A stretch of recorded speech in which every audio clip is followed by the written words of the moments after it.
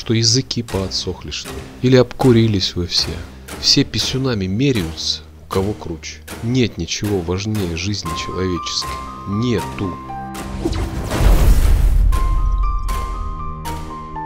Уважаемые жители Донецкой Народной Республики, идут масштабные обстрелы Украины и территорий Донецкой и Луганской Народных Республик. Только за последние дни силами нашей армии предотвращены несколько попыток терактов со стороны украинских спецслужб.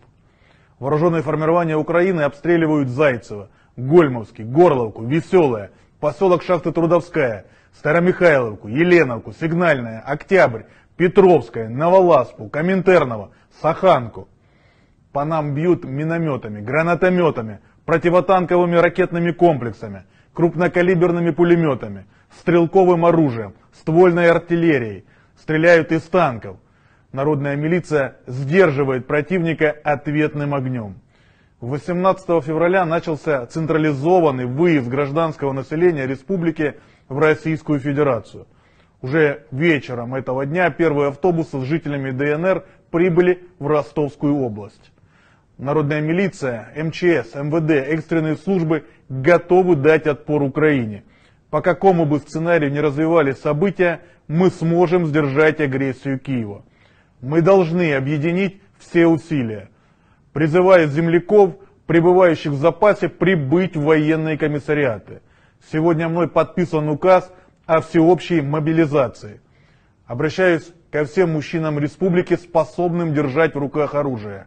Встать на защиту своих семей, своих детей, жен, матерей. Совместными усилиями мы добьемся желанной и необходимой нам всем победы. Мы защитим Донбасс и всех русских людей.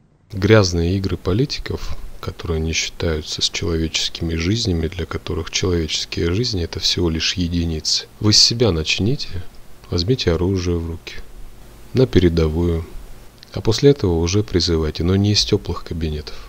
Я поражаюсь тому, что в 21 веке лидеры или так называемые лидеры государств, стран, республик непризнанных не в состоянии сесть за стол переговоров и решить все проблемы. Что языки поотсохли, что ли? Или обкурились вы все? Что кроме как воевать и калечить свой народ, вы уже ни на что больше не способны. Что, какая ценность? Что может быть более ценным человеческой жизни?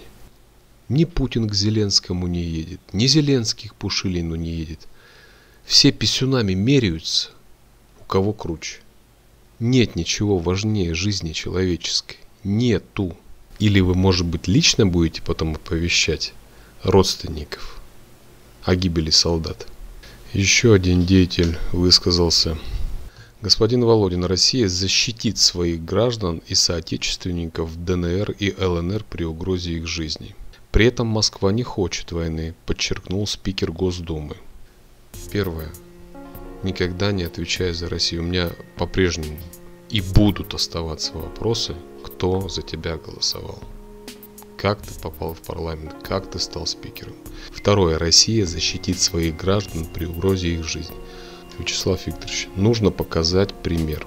Собирайся в военкомат, пусть тебя вооружат и на передовую, в окопчики. И покажи пример, как нужно защищать. Ну не сидя в кресло в Государственной Думе. Кого отправлять ты собрался? Ради чего? Ради кого?